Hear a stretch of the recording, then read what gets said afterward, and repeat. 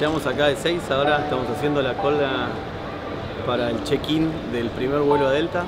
Nuestra primer pierna es Atlanta.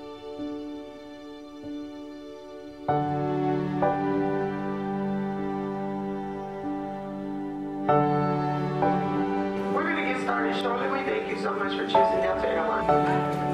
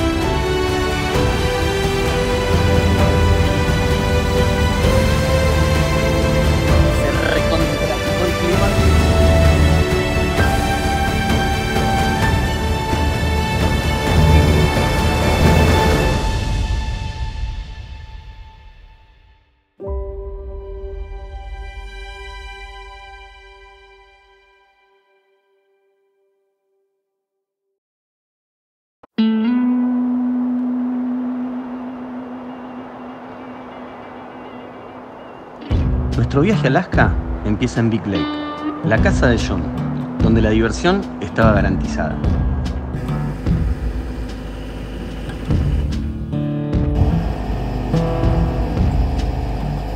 Estamos con John y va a usar esta máquina, sí, que está ahí. John tiene un montón de herramientas, es un personaje hermoso. Vamos a usar esta máquina para levantar el cab y sacarle los esquíes y ponerle las ruedas. You're lazy and you don't do it sooner, you can't get.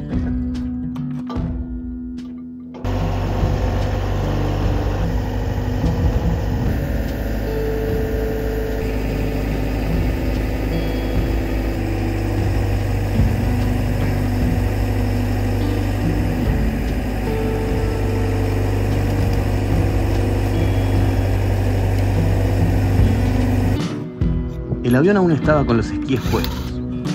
Tuvimos que utilizar algunas de las herramientas de John para poder sacar los esquíes y colocar las ruedas.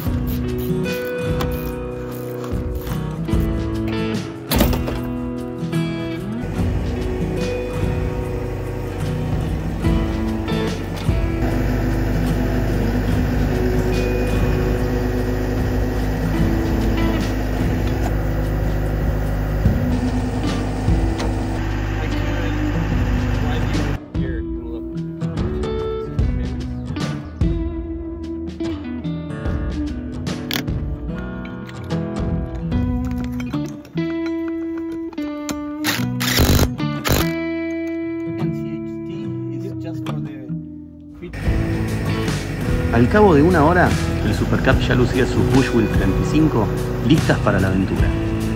Just try not to flip us. I'll do my best. No man, this is high. 23,000. It's 20,000. I know. Big. It's huge. Solo faltaba despegar hacia el río Kineo, uno de los valles más vistosos de Alaska, que queda solo a 20 minutos de vuelo desde Big Lake. We'll head a little bit to your left and uh, head for Connect. So straight ahead to Connect. See?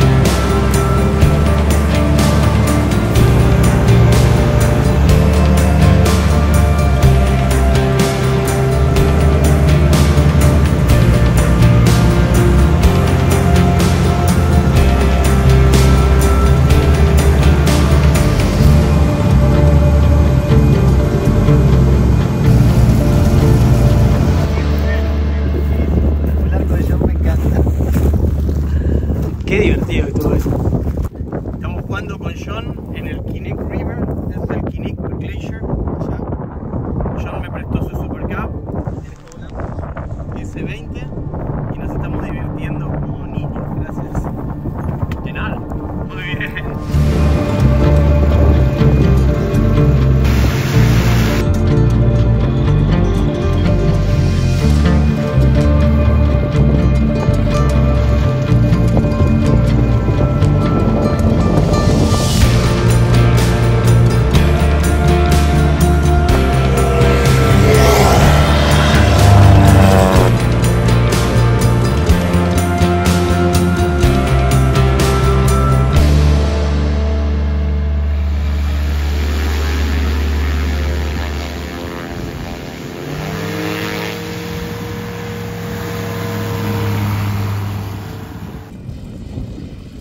Jugar con John a hacer varios aterrizajes Stoll, fuimos a buscar a Pablo que se había quedado solo haciendo algunas tomas de tierra y insistía que si se quedaba un minuto más se lo iba a comer un oso.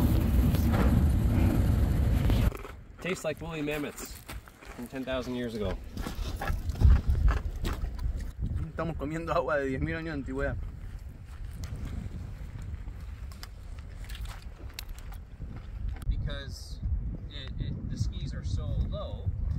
Yeah, yes. It's better for breaking it, but Me dejaste ahí con los osos solo, ¿eh? Un rato.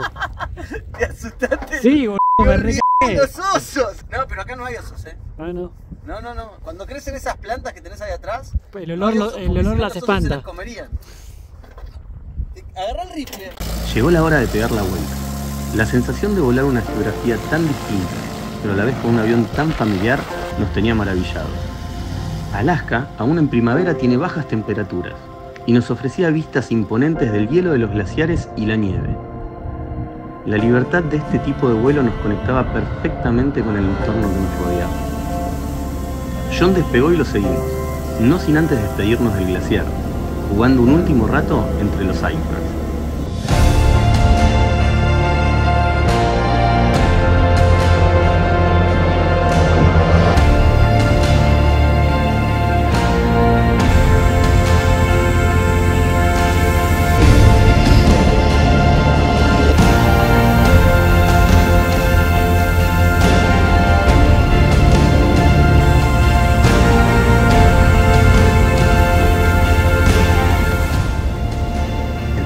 Vuelta fue interrumpido por un sinfín de aterrizajes en gravels sobre el río Kinnick. Su geografía amplia y plana ofrece generosos spots para aterrizar sin arriesgar las aeronaves. Se hacía tarde. Tomamos altura para navegar a Big Lake nuevamente, terminando de asimilar el día que habíamos tenido y todo lo que nos quedaba por delante. Acabamos de hacer un vuelazo, vuelazo, vuelazo con John. John salió al principio con el S20, con Pablito. Me prestó su super cab. Maestro John, gracias. Es increíble que te presten un cab. La primera vez que vine a Alaska no encontraba un cab para, para alquilar y de repente ahora nos lo presta. Súper agradecido a John por la confianza de dejarme volar un avión así, con, ese, con esa libertad y sin ningún tipo de presión. La verdad que la pasamos espectacular. Googleenlo. Flight 8 Mike Alpha es la página de John. A ver si se lee acá. Esa es la página de John. Yo tiene una empresa que da ground school, enseña a la gente cómo volar la parte teórica y aparte está construyendo uno de los lodge más locos de, Alaska, eh, donde nos estamos hospedando, que tienen aviones transformados en casas. Es algo recontra recomendable. Espero que les gusten las imágenes. Nosotros estamos disfrutando un montón y espero que les guste lo que les vamos a compartir.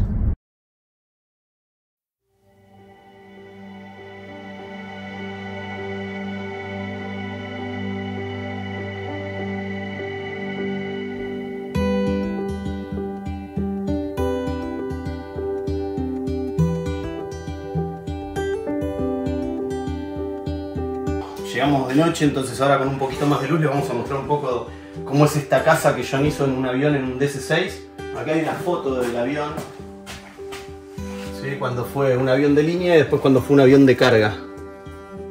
Ahí está un poquito la historia de, de lo que fue este avión. Apenas entramos tenemos acá un baño con una ducha. Está muy bueno todo, está muy lindo las terminaciones, los muebles. Después tenemos acá la habitación principal. Todas las llaves de luz son con wifi. Uno puede con el celular prender, apagar las luces. Esta cama es una cama king side, es de 2 metros por 2 metros, súper cómoda. Me tocó a mí y está buenísima. Eh, bueno, pues acá hay un pasillo. Esta puerta tiene movimiento, se lo podríamos cerrar ahí. Bueno, acá tenemos la otra habitación, la habitación secundaria. Y esto sería como una especie de cocina, living, comedor, con un acceso a lo que para mí es la mejor parte, que es el deck. Está sobre el ala. Acá podemos ver la cordillera de, Alaska. Allá en el fondo está el glaciar Kinnick. Se escuchan los aviones en el aire. Esto está fantástico, lo usamos anoche. es una, es una estufita, ¿sí? acá hace frío. Entonces prendemos acá hay una llamita copada y nos sentamos acá alrededor del fuego y es muy, muy bueno. La verdad que John acá, uno, está haciendo algo bastante distinto a lo, a lo convencional. Allá hay otro avión que no sé si se llega a ver, ¿sí? un avión de carga también, que quedó fuera de servicio. John lo compró, lo trajo hasta acá, que es una locura el- la logística y lo está transformando también en una casa para nueve personas. Acá vamos a salir del deck hacia el ala. Acá pues nos hacemos todo por estar recontra alto. Acá estamos arriba del ala de un DC-6 y esto que tenemos acá abajo es una de las dos pistas que tiene John en, este lodge de pilotos. Si uno vendría con su avión podría aparcar el avión acá abajo, dormir en el DC-6 y a la mañana despegar de esta pista. Esta pista tiene 500 y pico de metros y hay otra que la cruza, que es un poquito más cortita, está más cerca de los, de los árboles. Esto es un valle gigante con toda la cordillera que ven ahí atrás. Este año hay mucha más nieve que los años anteriores que vinimos.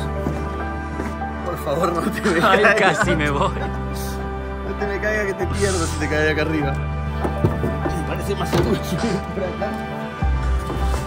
Esa. Y bueno, vamos a, la, a, lo más cool que tiene este, este departamento hecho en un fuselaje de avión. Este sillón está buenísimo. Ayer de hecho me quedé dormido acá, se transforma en cama. Acá abajo está la estructura para armar otra cama más para dos personas.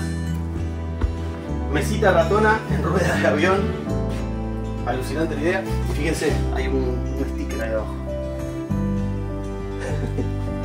bueno, y esto, esto es una locura. El silloncito masajeador. Creo que yo lo usé todos los días, no sé por papita. Y bueno, está la cabina. No está intacta.